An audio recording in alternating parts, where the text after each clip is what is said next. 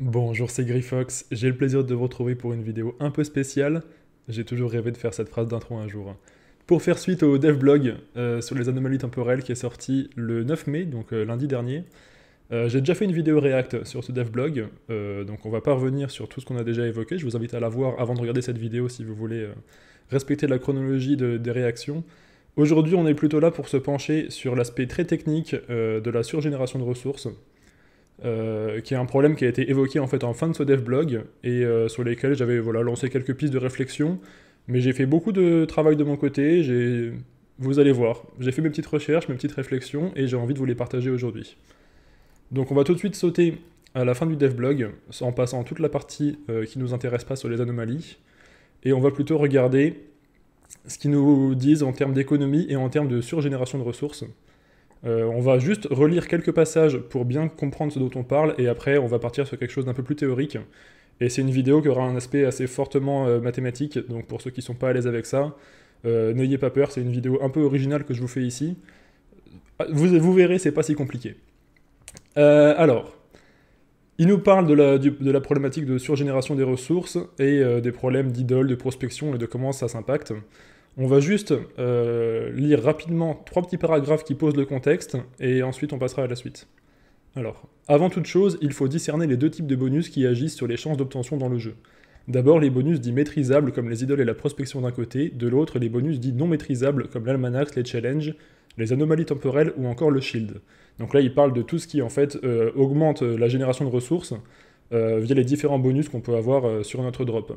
A noter qu'ils mettent là le shield en bonus non maîtrisable, donc euh, le, joueur ne peut pas euh, choisir de façon complète, alors que le shield pour moi c'est du maîtrisable puisqu'on choisit de l'activer ou non. Bref. Les bonus maîtrisables permettent à chacun de s'optimiser pour l'obtention de ressources. Chaque joueur choisit de son propre chef d'utiliser ces outils ou non. Au contraire, les bonus non maîtrisables sont soumis à une part d'aléatoire et ne dépendent donc pas uniquement d'un choix de la part du joueur. Les bonus maîtrisables représentent 50 à 90% de la valeur totale de bonus appliqués au taux d'obtention. Nous estimons que c'est une part trop importante et souhaitons donc réduire légèrement leur impact dans la formule afin de se rapprocher des 50%. Donner une part trop importante dans le calcul du taux d'obtention aux bonus maîtrisables a aussi l'inconvénient d'éclipser les bonus non maîtrisables. Si ces derniers peuvent être purement et simplement ignorés, nous perdons un levier important qui encourage à changer régulièrement de territoire. Autre point important, le bonus apporté par les idoles est le seul qui est modulé en fonction de l'écart de niveau entre le joueur et le monstre. Nous allons étendre ce fonctionnement à la prospection et au bonus des élixirs chroniques. Avoir un niveau supérieur au monstre que l'on affronte est un avantage, il est alors simple de sacrifier de l'équipement au profit de la prospection. Bien sûr, optimisation égale, un joueur proche du niveau des monstres a plus de chances d'obtenir les ressources qu'un joueur de niveau supérieur au niveau des monstres. Voilà, on s'arrête là pour la lecture. C'est juste pour poser un petit peu le, contexte et voir en fait ce à quoi on va s'attaquer aujourd'hui. Donc on parle, de, on parle de taux de drop, on parle de part de bonus qu'on peut maîtriser ou de bonus qu'on peut pas maîtriser, on, parle d'écart de, on parle d'écart de niveau entre le joueur et le monstre et de comment ça impacte tout ça. Euh, d'ailleurs, petite réflexion à ce niveau-là, euh, c'est pas très RP hein, de dire qu'un joueur plus haut niveau, il a moins de chances de dropper sur un monstre plus bas niveau qu'un joueur du même niveau de ce monstre, parce que normalement, plus ton personnage est puissant, plus t'as facile d'aller choper un truc sur un monstre. Mais bon, voilà, je comprends que c'est nécessaire euh, et que c'est probablement plus simple pour le jeu de faire comme ça, mais en tout cas, c'est pas très RP. Ah, il faut le dire, il faut le dire. Là, on a des petits tableurs comparatifs sur ce qui va arriver. Donc là, en fait, ce dont on parle, hein, ça va arriver sur la version 2.64, donc la prochaine version du jeu. Euh, et donc là, il nous faut un petit tableau comparatif euh, avec euh, du drop de ressources, donc là sur le Clacos, donc sur un niveau de monstre 110 avec un joueur 200, en nous expliquant à combien de pourcentage contribuent les bonus maîtrisables et non maîtrisables et comment ça va évoluer entre la version 2.63 et la version 2.64. Et là, on a un deuxième exemple avec un bec du Grand-Duc, qui est donc là une ressource de niveau 200 pour un joueur de niveau 200. Voilà, bon ça en tout cas, c'est ce qui va arriver prochainement a priori. Tout ça, c'est pas extrêmement pertinent pour la vidéo d'aujourd'hui, c'est juste pour poser vraiment les bases et ce sur quoi on va réfléchir. Ce qui va nous intéresser, ça va surtout être la suite. De façon beaucoup plus forte, parce que là, tout ce qui va suivre ensuite sur l'article, c'est des pistes de réflexion, c'est des choses qui sont pas forcément actées, mais euh, voilà, qu'ils envisagent de peut-être étudier pour la suite, ou peut-être de les introduire plus tard dans le jeu. C'est des pistes de réflexion sur des solutions au problème de, surgénération des ressources euh, qui fait du mal à l'économie, qu'on constate tous euh, sur le jeu.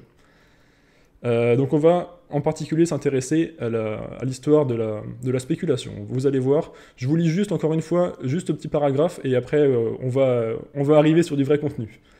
Alors, formule de butin. Nous, nous, vous avons déjà exposé les modifications que nous souhaitons apporter au système d'obtention de butin. Nous observerons leurs conséquences, mais sachez que nous envisageons des pistes qui modifient le système en profondeur pour résoudre les problématiques suivantes. Un taux d'obtention dit rare peut ne plus l'être, un taux d'obtention commun est souvent obtenable à 100% passé un certain seuil d'optimisation. En premier lieu, nous apportons une modification sur tous les taux d'obtention de ressources disponibles sur les monstres du jeu. Chaque taux de base se voit attribuer un second taux qui est son maximum atteignable. Par exemple, une ressource avec un taux d'obtention de base de 10% aurait un taux d'obtention maximum de 55%, ou une autre avec un taux d'obtention de base de 4% aurait un maximum de 23%. Les valeurs sont bien sûr données à titre indicatif. Alors là, il y, a un petit truc qui est bizarre, c'est que... Euh, il n'y a, pas de, lien multiplicatif entre le taux minimum et le taux maximum a priori, parce que là, entre 10 et 55, on fois 5,5 fois, fois 5,5, voilà, le, taux max est égal à 5,5 fois le taux min. Et là, juste après, on passe de 4 à 23, donc là, c'est plus le cas. Euh, parce que sinon, ça ferait 22. Donc c'est un, peu, bizarre. Euh, pourquoi ne pas faire une règle de base de type euh, le taux maximum est égal à 5 fois le taux minimum, par exemple Plutôt que de faire à chaque fois des trucs qui changent, là j'ai pas trop compris pourquoi. Auquel cas, une ressource droppable à 1% taux minimum, elle aurait un taux maximum à 5%, et une ressource à, 20% de taux minimum aurait un taux maximum à, 100%, et ce serait tranquille quoi. Je pense que ce serait plus clair, parce que là on va arriver, vous allez voir, il y a quand même pas mal de chiffres et de notions, autant clarifier le système au max, et là déjà ils introduisent un truc un peu, euh, un peu de confusion qui ne, sert pas à grand chose à, à, mon avis. Donc voilà, moi je pense qu'on peut fixer, si on part dans l'optique de ce qu'ils proposent ici, le taux max qui est égal à 5 fois le taux minimum, et ça me paraît très bien. Alors ensuite là, voilà, c'est la partie qu'il faut écouter le plus attentivement. Admettons ensuite qu'une nouvelle caractéristique fasse son apparition, la spéculation. Cette caractéristique évolue entre 0 et 100 et augmente en fonction des bonus cumulés d'obtention que possède le personnage. On additionne alors le score d'idole, la prospection, les bonus de territoire des anomalies temporelles, l'almanax et le bonus de contrôle de territoire via les alliances. Ces bonus sont ensuite convertis en points fixes de spéculation. Par exemple, un challenge à 50% actuellement accorde ainsi 50 points de spéculation, ou un bonus de territoire de 90% accorde 90 points de spéculation. L'objectif de cette nouvelle caractéristique est de regrouper les différents bonus d'obtention en un seul indicateur plus simple et synthétique pour vous. Cette caractéristique augmente et diminue dynamiquement en fonction des bonus du personnage. Plus vous cumulez de bonus, plus votre spéculation sera élevée. Cependant, il faut de plus en plus de bonus pour atteindre la valeur maximale, évolution dégressive. La spéculation va donc déterminer les chances d'obtention d'une ressource à la fin du combat. Plus elle est élevée, plus votre taux final d'obtention se rapproche du taux maximal fixé pour cette ressource. Pour les matheux, voici une formule potentielle avec un exemple concret. On admet un personnage possédant 52 spéculations qui cherche à obtenir une ressource avec un taux de base de 10% et un taux max de 55%. Voici la formule. Euh, il faudrait mettre taux de drop égale taux base plus taux max moins taux base fois la spéculation sur 100. Donc en gros, on a une fonction affine qui va entre le taux minimum et le taux maximum. Ce qui donne dans notre exemple, euh, voilà, pour euh, donc une ressource, euh, c'est ce qu'ils avaient indiqué au début, avec un taux minimal de 10%, de 10% et un taux maximal de 55%. Si on a 50 de spéculation, du coup 50 c'est pile poil à la moitié entre 0 et 100, donc on est pile poil à la moitié de taux de drop entre 10 et 55, donc 32,5. Donc là, c'est très clair.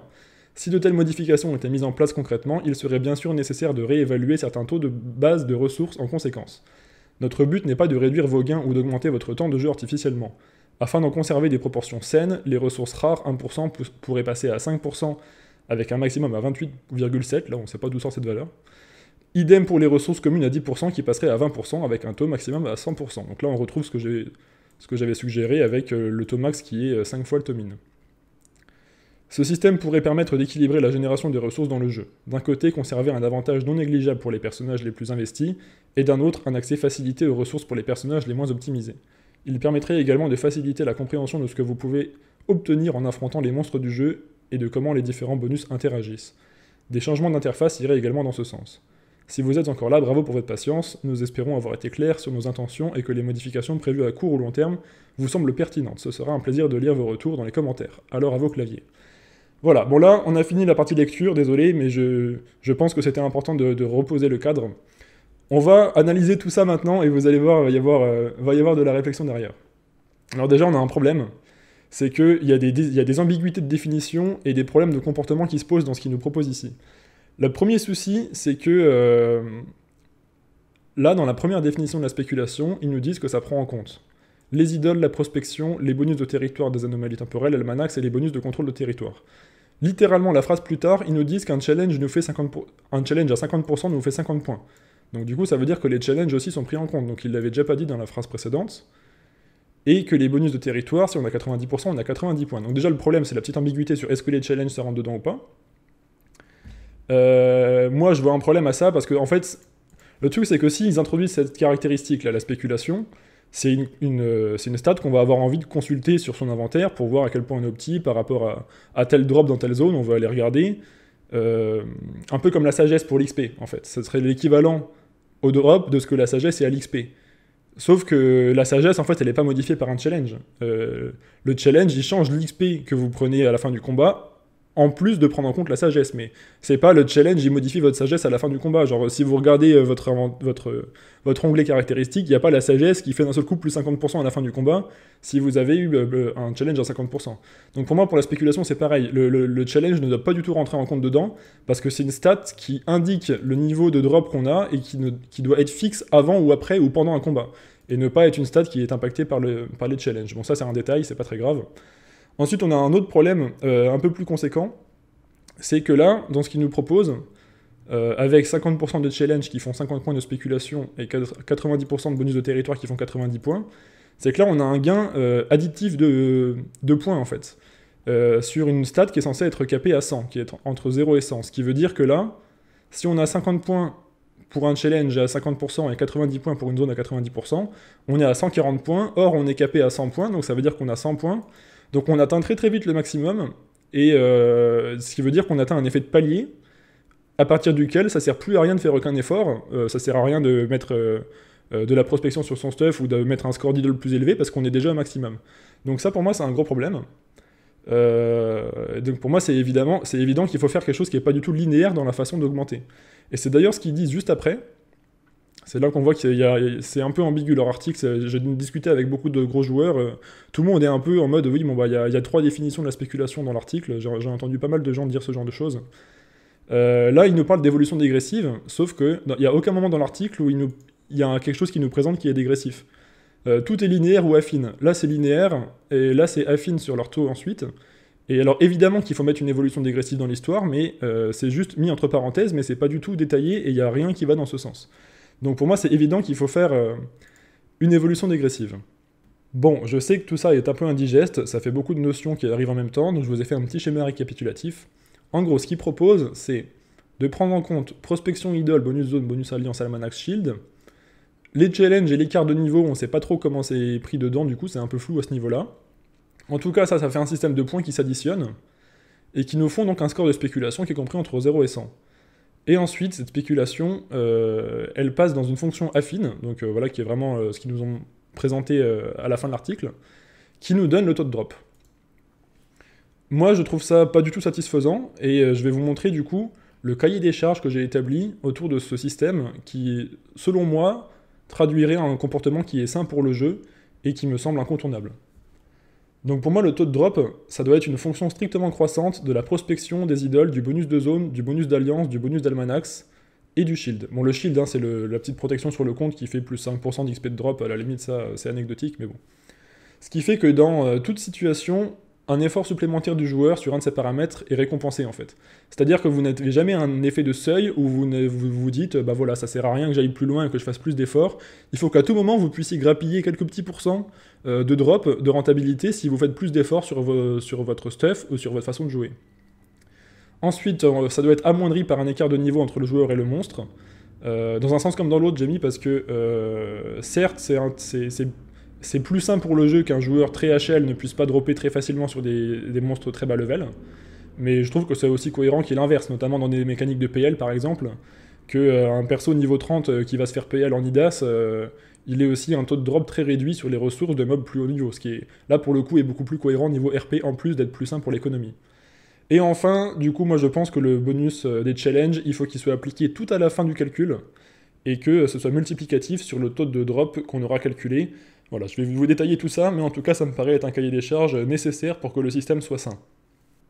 On en arrive donc à ma proposition, ce qui me semble être la meilleure façon de procéder, qui est donc d'avoir euh, d'abord un calcul sur la prospection, les idoles, le bonus de zone, le bonus d'alliance, l'almanax et le shield, qui passe dans une fonction f qui va être à définir et qui va être en fait euh, la grande partie théorique de cette vidéo, qui nous permet donc de déterminer la spéculation, et cette spéculation ensuite, elle détermine un taux de drop via une fonction affine mais qui est, euh, on va dire, pondérée par un écart de niveau, qui va être ajusté en fonction de l'écart de niveau entre le monstre et les joueurs, qui nous donne du coup un taux de drop intermédiaire, on va dire qui est le taux de drop euh, si on fait aucun challenge, et à la fin, si on arrive à faire des challenges, ça devient multiplicatif, et ça nous donne le taux de drop final. Voilà comment moi je synthétise toutes les variables de cette problématique, et euh, de la façon qui me paraît optimale. Nous voilà enfin sur un tableur, les amis. Bon, pour ceux qui me connaissent, vous savez que une majorité de mon temps de jeu sur Dofus, en fait, je le passe sur des tableurs Excel et pas sur Dofus. Euh, moi, j'adore ça, je théorie-craft tout, je fais tout le temps des, Bon, je vous montrerai, j'ai plein de contenus de ce type à vous sortir si ça vous intéresse. En tout cas, là, du coup, ce que je vous ai fait, c'est euh, une représentation déjà du taux, qui est, du taux de drop tel qu'il est présenté dans l'article, pour que ce soit un peu plus visuel pour ceux qui ne comprendraient pas. Donc ça, c'est la toute petite formule qu'ils nous ont mise à la fin du devlog, c'est-à-dire le calcul du taux de drop en fonction de la spéculation. Donc voilà, je vous, je vous illustre un petit peu les choses. Donc la spéculation, c'est en abscisse qui varie entre 0 et 100. Et le taux de drop, euh, du coup, il, varie entre le taux minimal de drop, donc là j'ai repris l'exemple du 10%, 55%, donc ce taux de drop, il varie euh, entre le taux minimal de drop et le taux maximal de drop, et c'est, euh, comme vous le voyez, complètement affine par rapport à la spéculation. Voilà, ça c'était juste pour reposer un petit peu encore le contexte. Alors moi ce que je propose, c'est d'introduire une variable qui s'appellerait le bonus joueur. Le bonus joueur, ce serait un score associé à votre personnage qui synthétiserait la prospection, les idoles, le bonus de zone, le bonus d'alliance, le bonus d'almanax et éventuellement le shield. Alors je vous ai fait un petit comparatif pour que ce soit plus clair entre euh, l'ancien système et du coup ce qui serait le nouveau système. Parce que là je vois bien que ça fait... Je pense que ça doit être un peu compliqué de bien tout comprendre dès, euh, euh, dès le premier visionnage de la vidéo. Donc par exemple, la prospection dans le système actuel, on va dire elle varie à peu près entre 0 et 700 pour un personnage. Moi, je propose, c'est à titre vraiment, ça c'est à titre indicatif, hein, ça peut être complètement euh, revu de façon arbitraire. Ce que je proposerais par exemple, c'est que la moitié de cette quantité de prospection devienne des points dans le, système que j'appelle le bonus joueur. Donc par exemple, la prospection, là, avec ce que je propose, elle varierait entre 0 et 350. Encore une fois, ça c'est à la louche. Hein. Euh, les idoles, on va dire, c'est euh, actuellement, alors j'ai mis pourcent ici, c'est on va dire entre 0 et 500 de score d'idole selon les compos que vous faites. Là, je propose tout simplement euh, que euh, un point de score d'idole fasse un point pour le bonus joueur. Ensuite, pour la zone, avec l'ancien système, elle était entre moins 90% et 90%. Là, moi, je propose de doubler le pourcentage pour avoir des points. Et donc maintenant, avec le nouveau système, ça ne pourra plus être négatif, donc ce sera entre 0 et ça pourrait aller jusqu'à 150% avec le système d'anomalie temporelle comme ils nous l'ont expliqué, ce qui fait que ça nous fait un score qui est entre 0 et 300 pour la zone euh, en termes d'anomalie temporelle de bonus de zone. Ensuite, l'alliance, avec l'ancien système, elle nous faisait 25% de bonus de drop si on était dans l'alliance qui possédait le territoire. Donc là, je propose à nouveau le double du pourcentage, donc entre 0 et 50 points. Pour l'almanach, c'est grosso modo entre 0 et 300% de bonus euh, de drop sur les zones pour les plus gros almanachs. Donc là, je prends juste le pourcentage simple converti en points, donc ce qui nous fait jusqu'à 300 points. Et pour le shield, c'est 5% d'XP de drop, on met 10 points, voilà. Ce qui fait que le bonus joueur, euh, au global, il varie entre 0 et à peu près 1400. Voilà. Euh, là, je vous ai fait un exemple. Par exemple, un joueur qui euh, aurait dans le système actuel 200 de prospection, un score d'idole de 315, ce qui correspond à peu près à des, scores d'idole qu'on peut faire en farm, PL et autres, un bonus de territoire euh, à, 180 points, un bonus d'alliance à 50, un almanax à 50 et le shield, il aurait avec ce que je propose, donc sur cette nouvelle euh, variable de bonus joueur, là il aurait 805 de bonus joueur. A noter que dans le devblog, ils nous ont fait un petit développement sur la notion de bonus maîtrisable ou de bonus non maîtrisable et de la façon dont ils voulaient pondérer l'un et l'autre dans le calcul final du taux de drop. L'avantage de ce que je propose ici, c'est que comme la méthode de calcul des points est complètement arbitraire, euh, on est tout à fait libre en fait de dire ben, on va pondérer plus ou moins fort tel ou tel euh, type de bonus. Et si on veut, on peut par exemple trouver que euh, les idoles c'est trop fort et les faire varier entre 0 et 100 au lieu de les faire varier entre 0 et 500. Ou on trouve que les bonus d'almanach sont trop forts donc on va faire qu'ils donnent moins de points. Vous voyez, en fait, l'avantage de mon système c'est qu'il n'y a même plus besoin de se prendre la tête entre bonus maîtrisable et bonus non maîtrisable.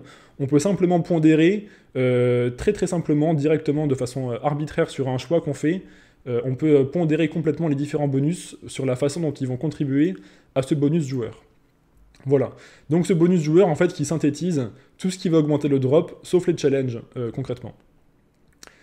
Alors ensuite, à partir de ça, toute la, spécificité, c'est ce que je vous avais expliqué avant, ça va être de calculer la spéculation. Donc la spéculation, je rappelle, c'est cette valeur qui est comprise entre 0 et 100 et qui va être euh, lié de façon affine au taux de drop.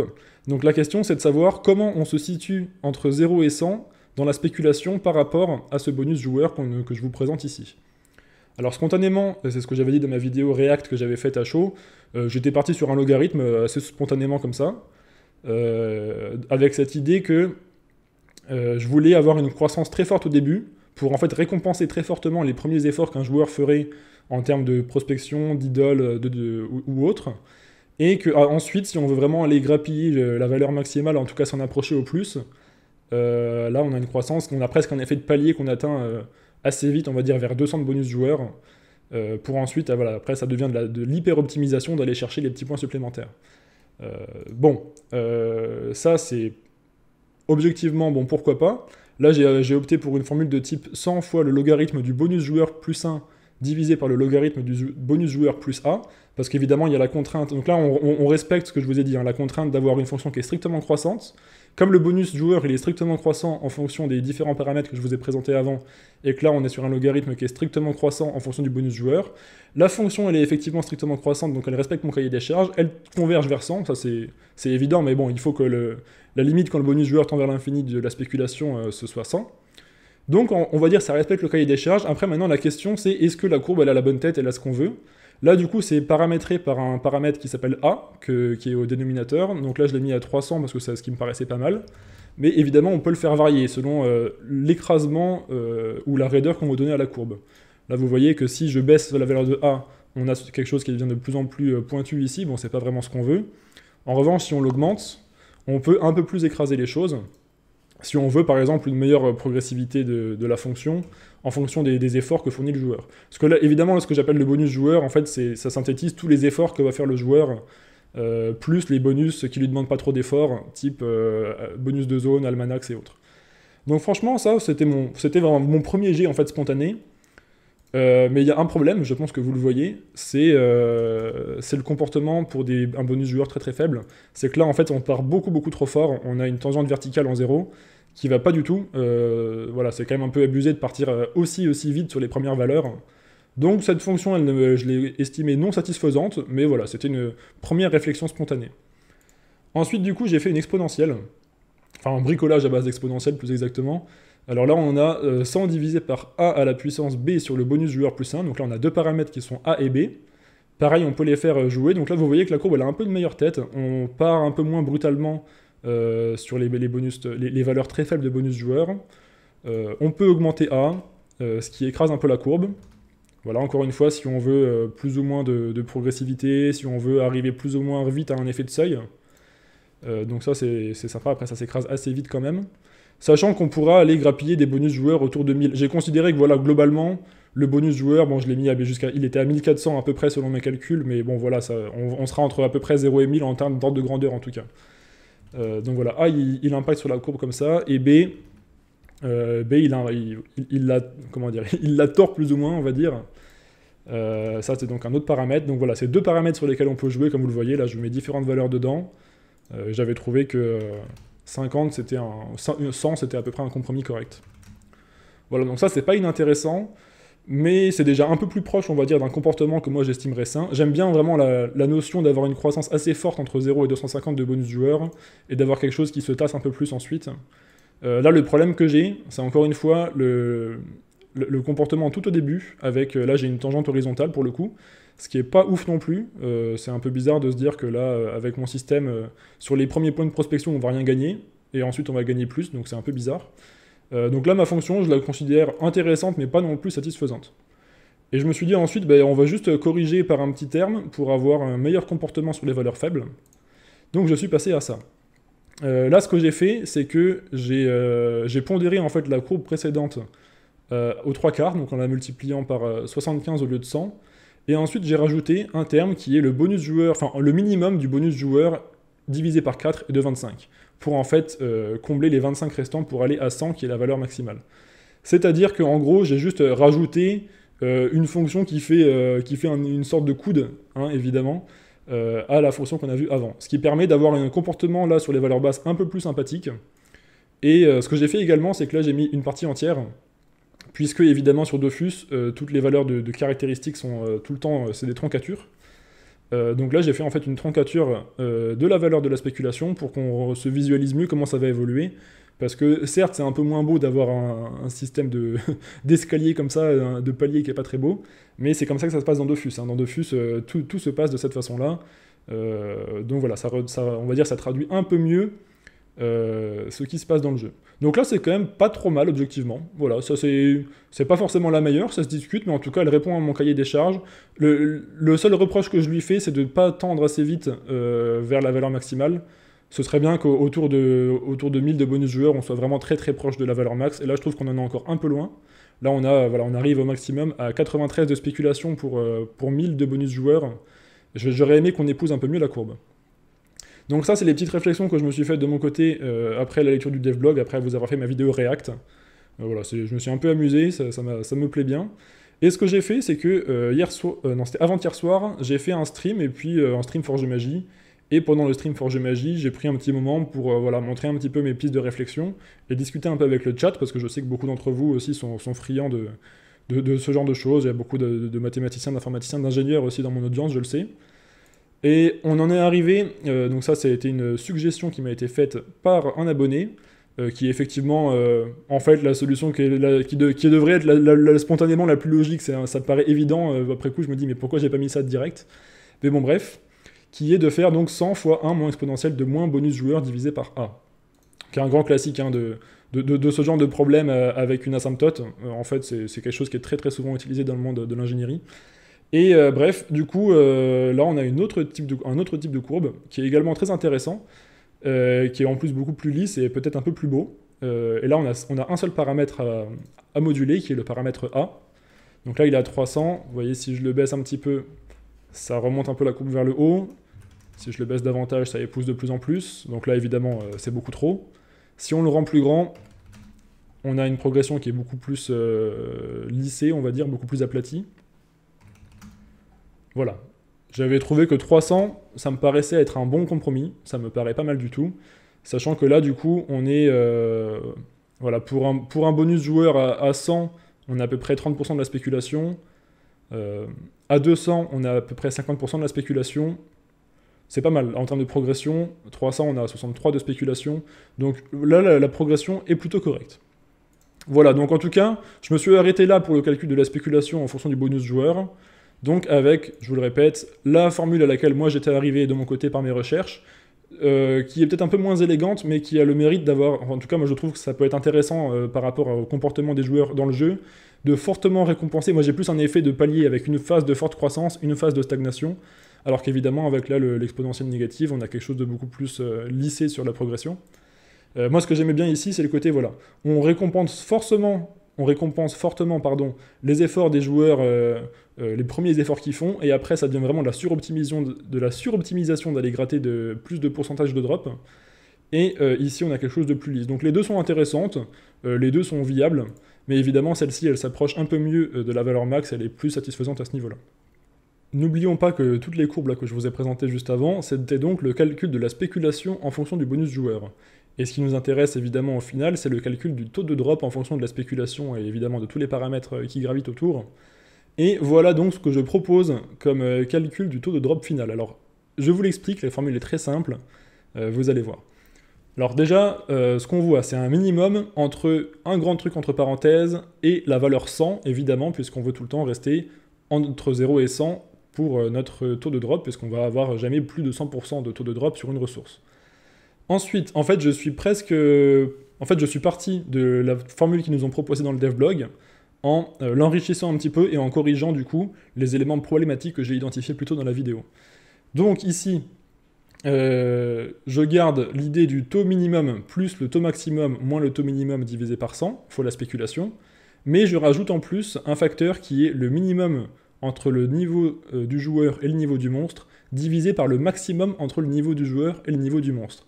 Ce qui fait que c'est un facteur en fait qui va varier entre euh, des valeurs très faibles et 1, Euh, un dans le cas de figure où le niveau du joueur est égal au niveau du monstre, et s'il y a un écart, en fait, ça va faire un facteur un peu amoindrissant euh, sur cet ajout de taux de drop. Euh, donc c'est très, très très simple, hein. c'est pour ça qu'on a donc spéculation fois le, le, minimum entre le niveau du joueur et le niveau du monstre sur le maximum entre le niveau du joueur et le niveau du monstre, fois du coup l'automax fois le minimum sur 100, et ensuite on fait fois 1 plus le pourcentage de challenge sur 100, voilà, pour que euh, si on a 50% de challenge, on a euh, du coup 1,5 fois ce taux de drop. Euh, et de façon, vous le voyez, je l'ai mis tout à la fin, pour que ce soit multiplicatif par rapport à tout ce qu'on a vu avant, pour que, comme on a des progressions en fait qui sont dégressives sur les différents bonus, c'est-à-dire les idoles, la prospection, les bonus d'Almanax et autres, pour que ce soit pas turbo broken et que ça fasse pas en fait boule de neige et que ça, ça ne fasse pas des taux aberrants. Je trouve que les challenges, ce sont quand même des éléments qui nous demandent le plus d'efforts en termes de gameplay, le plus de sacrifices dans notre façon de jouer. Euh, c'est beaucoup plus coûteux en fait de faire un challenge que d'avoir un stuff avec de la prospection ou de mettre des idoles. En tout cas, c'est comme ça que je le ressens et je pense que beaucoup d'entre vous seront d'accord avec ça. Et je me suis dit, du coup, le challenge, il faut que ça reste multiplicatif en, en mettant en tout dernier ce facteur par rapport à tout ce qu'on a calculé plus tôt.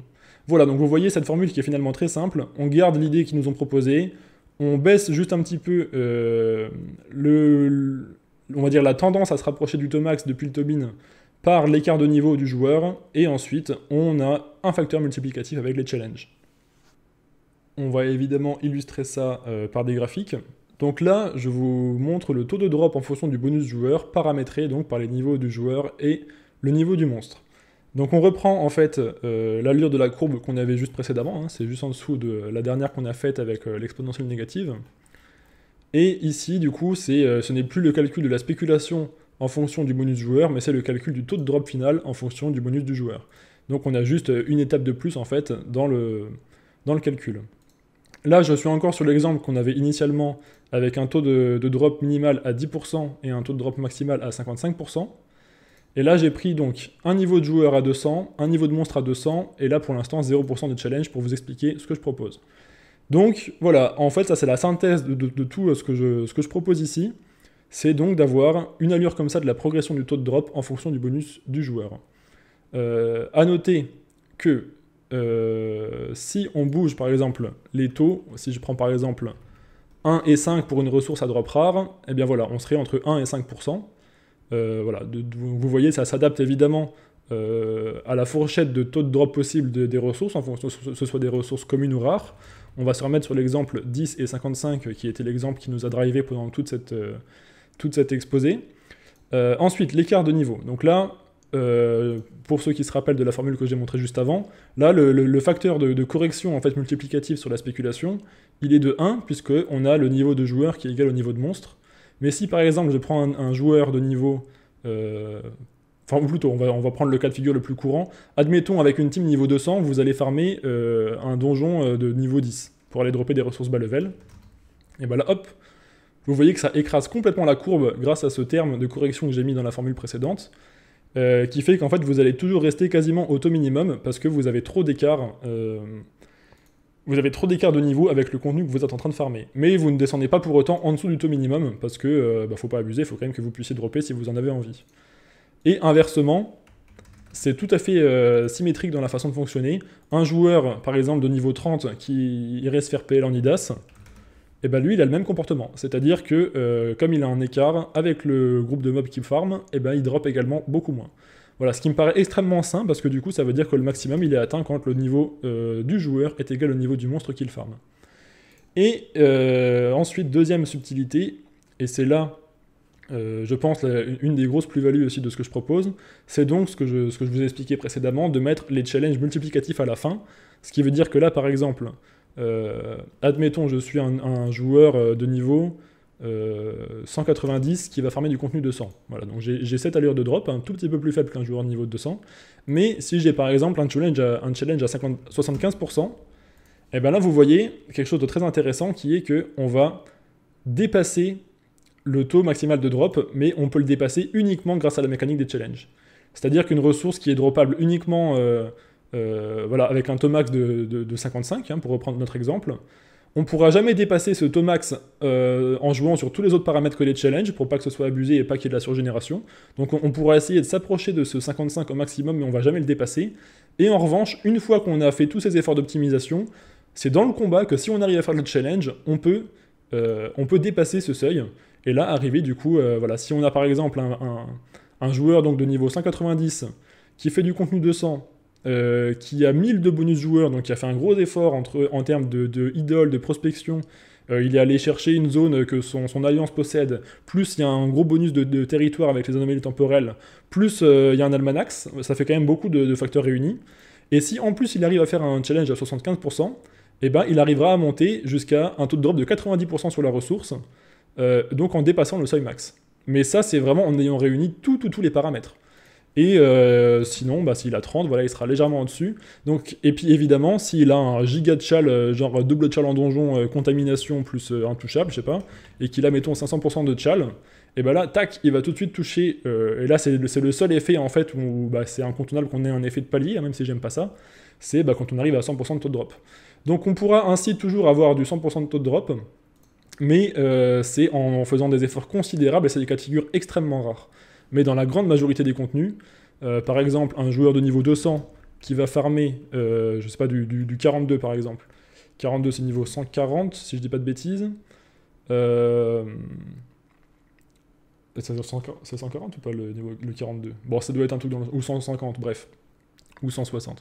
Euh, un truc dans le style, et qu'il a par exemple un challenge, euh, il a un mystique à 90%, et ben là il pourra très très très légèrement euh, dépasser ce drop. Mais évidemment, si c'est farmé, et ben tout de suite le bonus de zone va baisser. Donc il sera peut-être qu'à un bonus joueur qui sera autour de 200, et il aura un taux de drop finalement inférieur à la valeur max mais alors qu'il joue avec idole, prospection et autres. Donc moi ça me paraît être une façon en fait de gérer les choses qui est extrêmement saine, et évidemment dans la grande majorité des cas de figure, ça va juste nous faire naviguer entre le taux minimum et le taux maximum, de façon parfaitement gérée. Voilà les amis, euh, tout ce que je voulais euh, vous montrer, et le petit, euh, le petit bonus de fin on va dire, c'est que, je ne sais pas si vous vous rappelez, c'est une proposition que je vous fais, euh, cette courbe-là était paramétrée par un paramètre A qu'on a ici fixé à 300, et que euh, si on l'augmente, ça écrase davantage la courbe et ça baisse la vitesse de progression du taux de drop. Ce que je pourrais proposer éventuellement comme vraiment solution à la surgénération de ressources, c'est d'indexer ce, facteur A, ce paramètre A, sur l'état de surgénération de la ressource. C'est-à-dire que, euh, admettons que vous êtes sur un serveur très peu peuplé, et vous faites un contenu qui n'est pas trop farmé, donc le, contenu, la ressource serait très peu générée, ça voudrait dire que A serait euh, très faible, parce que ce serait un indice de surgénération. Donc par exemple, on aurait un A à 50, et là vous auriez un taux de drop de la ressource qui tend très très vite vers la valeur max. En revanche, si vous êtes euh, sur un serveur peuplé type Hush, et qu'on parle d'une ressource NIDAS, et donc là que c'est vraiment surgénéré, on aurait par exemple... Euh, un taux de. Un, facteur de surgénération qui serait à peu près à 1200. Et là, du coup, ça fait que le drop, il serait beaucoup, beaucoup plus écrasé. Et que donc, ça régulerait comme ça, euh, d'un serveur à l'autre, la génération des différentes ressources. On pourrait, par exemple, considérer que A, euh, il serait calculé à partir de la quantité de ressources qui ont été droppées sur la, dernière semaine, par exemple. C'est une idée. Ou alors d'autres types de facteurs, la quantité qui est en circulation dans le jeu, ou ce genre de choses.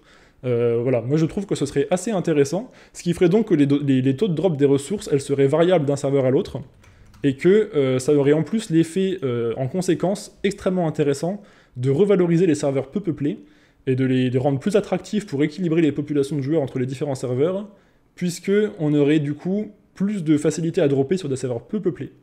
Et donc ça attirait plus de joueurs, donc ça finirait par en fait lisser la population euh, de Dofus sur les différents serveurs et ne pas être dans ces cas de figure qu'on connaît tous où il y a des serveurs très peuplés, très actifs, et des serveurs moins peuplés, moins actifs, où c'est compliqué de vendre ses items, de remplir ses HDV et autres. Voilà, et donc évidemment, bah, ça, ça se retrouve sur le taux de drop, hein, je rappelle. Donc admettons que, euh, je reprends mon exemple, on est sur un contenu euh, très peu farmé sur un serveur très peu peuplé. Le taux de drop, il explose très très vite en fonction des efforts qu'on va faire pour le dropper. Et si on est sur euh, une ressource très farmée sur un serveur très peuplé, le taux de drop, il évolue beaucoup moins vite euh, en fonction des différents bonus qu'on met sur son personnage. Voilà les amis, c'est la fin de cette vidéo. J'ai tenté quelque chose d'un peu, euh, peu différent de mon contenu habituel, je pense que c'est assez clair. Euh, voilà, j'ai hésité à vous sortir ça, je sais pas trop à quel point vous allez adhérer à, ce genre de réflexion.